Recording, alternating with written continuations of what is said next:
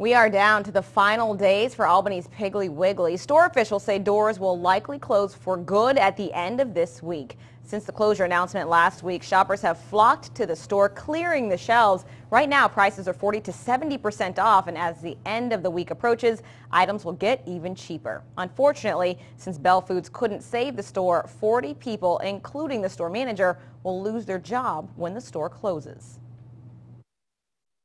I, I don't have a job either. I'm going to be looking like they're looking. Uh, we're, we're all, uh, it kind of caught us all by surprise that they did not decide to open it back. So, you know, we're, we're out looking. We're, we're just going to have to try to find something.